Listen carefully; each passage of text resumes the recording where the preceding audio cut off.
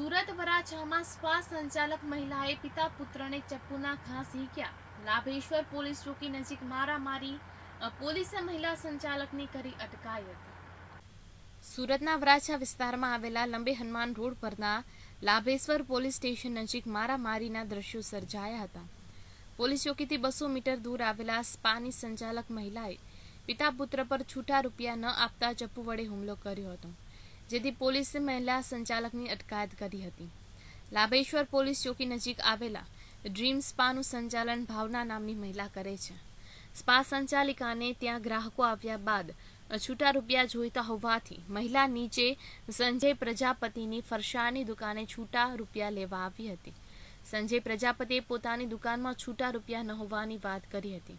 જેથી મહિલાએ ઉશ્કેરાઈ ગઈ હતી અને તેની સાથે જીવા જોડી બાદ ચપ્પુથી સંજય અને તેના દીકરા પર હુમલો કરી લોહી લુહાણ કરી દીધા હતા. સ્પાની સંચાલિકાએ સંજય અને તેના દીકરાને પીઠ અને છાતીના ભાગે ચપ્પુના ઘા ઝીકી દીધા હતા.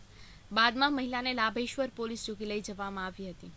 ત્યાંથી વરાછા પોલીસ સ્ટેશને લઈ જવાઈ હતી. સ્પાની સંચાલિકા દ્વારા કરવામાં આવેલી લુખી દાદાગીરાના પગલે સ્થાનિકોમાં રોષ ફાટી નીકળ્યો હતો. સ્પામાં ચાલતા દૂષણો બંધ કરાવવાની પણ સ્થાનિકોએ આક્રોશ માંગ કરી છે. સ્પા સંચાલિકાએ કરેલા હુમલાથી લોકોમાં રોષ ફેલાયો હતો. રોષે ભરાયેલા લોકોએ સ્પા સંચાલિકાના મોપેડ પર પોતાનો ગુસ્સો ઉતાર્યો હતો.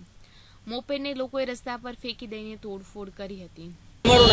સંજય પ્રજાપતિ. સંજયભાઈ શું થયું છે? બબાલ શું છે આ બબાલ મેં છૂટા ના આપ્યા. તો મને કે ગાડી લઈ લો. મેં ગાડી લઈ લીધી.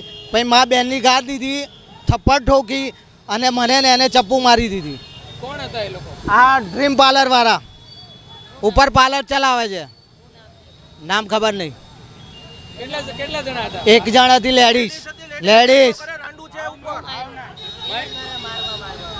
હા? છરી છરી. સંજય પ્રજાપતિ. સંજયભાઈ શું આ બબાલ થઈ છે?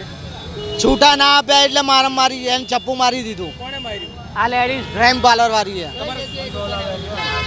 કઈ જગ્યાએ દુકાન આવેલી? આ રહી ચામુંડા પરસાણ. તમારા છોકરાને શું માર્યું? ચપ્પુ વાગી. તમને પણ વાગી મને વાગી. કેટીવી ન્યૂઝ ગુજરાતી સાથે અરવિંદ રાઠોડ સુરત.